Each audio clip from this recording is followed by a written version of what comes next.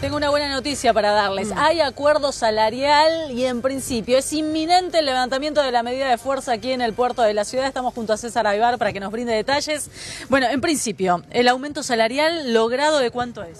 Bueno, nosotros hemos conseguido una recomposición salarial del 50% más una cláusula de revisión para lo que va del año. Re- tengo que recordar también que se sumó un 17% del año pasado, de la cláusula de revisión del año pasado.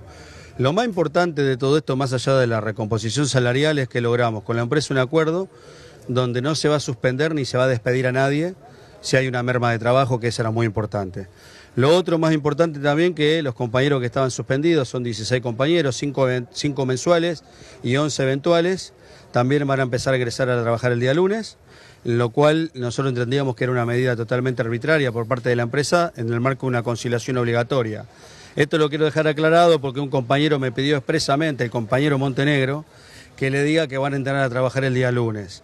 Eso nosotros entendíamos que iba a ser así, además los expedientes dentro del Ministerio de Trabajo de la Nación lo decían, de la provincia, por lo cual nosotros en todo momento evitamos violar la conciliación obligatoria y evitar un conflicto. Eh, también quiero dejar aclarado que lo que quieren los compañeros es trabajar, y las compañeras trabajar, no quieren... César, no se entiende. O sea, por un lado, firman el acuerdo del 50% de incremento y por otra parte habían cesanteado por 25 días algunos trabajadores. ¿Creen que a futuro esta empresa eh, tiene pensado avanzar en este sentido de reestructuración de la planta? Nosotros en todo momento, siempre, cada vez que vamos a una negociación salarial que se pone dura, sabemos las tácticas o las estrategias que pueda tener el sector empresarial. Siempre van a tratar de pegarle en la panza a los trabajadores, esto es la realidad. Lo que yo siempre le trato de decir a los compañeros que más allá de trabajar en forma emocional hay que trabajar con el cerebro. Hay que ser un- los dirigentes tenemos que tener los pies sobre la tierra y tenemos que ser fríos porque en una mesa de negociación nosotros estamos definiendo el futuro de muchas familias. Vamos al, al punto frío entonces. ¿Cuánto representa un 50% de incremento para estos trabajadores en términos salariales? Y hoy estamos hablando de un compañero de un sueldo base por arriba de los 180 mil pesos, ¿no es cierto? Creo entendido.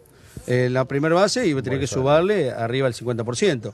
Igual de todos modos, yo quiero decir algo, los sueldos que se pagan en el puerto los supimos construir en base a trabajo, no es obra, no es obra de la magia. Es decir, aquí en plena pandemia los compañeros y compañeras que prestan servicio en la terminal han trabajado a destajo, nunca han faltado a trabajar, se han puesto al hombro la pandemia porque entendían que los insumos médicos que tenían que que se, se ponían en los, en los sanatorios, en los hospitales, venían por acá. Entonces, eso es una de las cosas que nosotros siempre hemos planteado a la empresa. El trabajador siempre le ha puesto el hombro, hemos acompañado al puerto, le hemos acompañado sin conflicto. Hace muchísimo tiempo no había un conflicto en el puerto Rosario porque entendíamos que la única forma de defender el trabajo era trabajando. Hablando del trabajo, los transportistas que están aquí, que se han colocado en todo lo que es colectora de circunvalación, ¿en cuánto tiempo van a poder ingresar para que se produzca la descarga? No, esto ya, esto ya se resolvió en, en poco tiempo, ahora cuando ingresen a trabajar los compañeros, eso lo digo con motivo de orgullo, siempre lo he dicho, y que no se enoje ningún compañero portuario del país, nosotros tenemos los mejores del país, son buenos, cuando entran a trabajar la producción acá es récord, sacan mucho trabajo, con las herramientas que tienen, las condiciones que está el puerto, siempre van a sacar el puerto, o sea que le quiero transmitir la tranquilidad a los compañeros transportistas de que el trabajo va a salir en tiempo y forma. Bien, gracias César. Bien, entonces allí la palabra de César Aybar, representante, bueno, dando este anuncio en exclusiva para nosotros, 50% de incremento, estamos hablando de una cifra importante, incluso para el que recién se inicia en la actividad, y el compromiso de que no habrá despidos, porque ese era el motivo por el cual hoy movilizaban. Habían cesanteado por 25 días a empleados específicamente y además habían dejado a muchos que son eventuales, es decir, que se contratan para el momento de mayor trabajo, también sin actividad. El lunes reincorporan a todos. Bien, bueno, y, y en cuestión de servicios, de accesos, eh, Gaby, eh, ¿se puede empezar a circular ya libremente?